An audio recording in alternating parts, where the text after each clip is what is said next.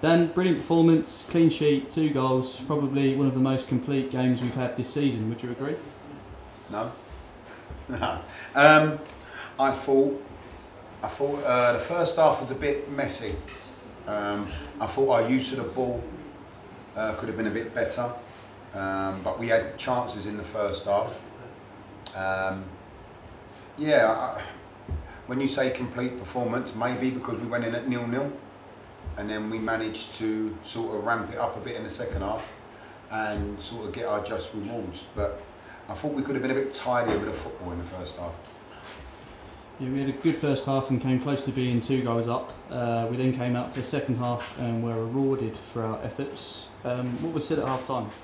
Um, there was a couple of things said at half time. I felt that we needed to be more aggressive in midfield. Um, I think that we didn't get enough second balls in good areas. Um, and that was said. We looked at our energy levels on turnovers. If you look at the second half, when the ball started to break free, uh, we would get forward in good numbers. And I just think generally we had a good start to the second half. The first goal was class. I, I, I can't wait to watch it back. But I just think that put us on the road to where we needed to go. Yesterday we announced the return of Anderson Pinto.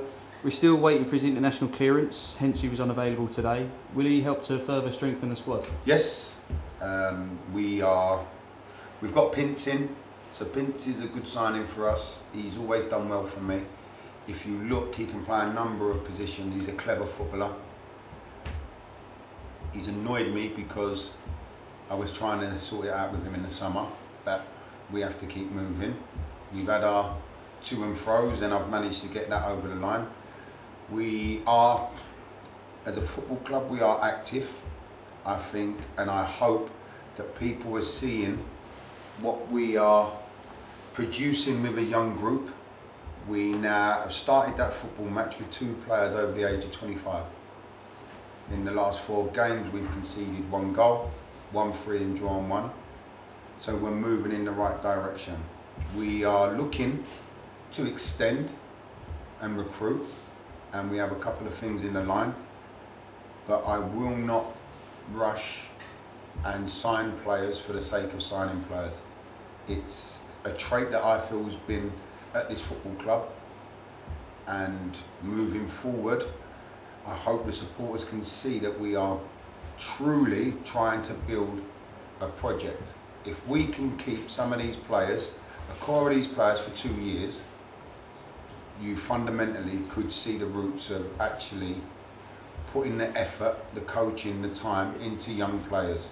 Now, where where I contradict myself, and I've looked back over it, in the summer when we was talking about signing players, I spoke about signing men, winners, and people that knew how to do their job.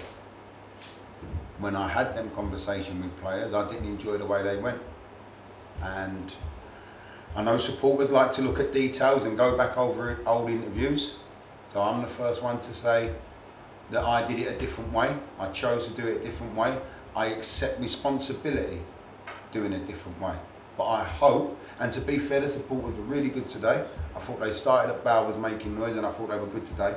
I hope that they can look and see at young players getting better and potential that this football club has with this group with some new additions. And finally, AJ took part in the warm up today. Is he close to a return to action? Yes, so we had AJ train Thursday. AJ done some work today. Pinch trained Thursday. Pinch done some work today.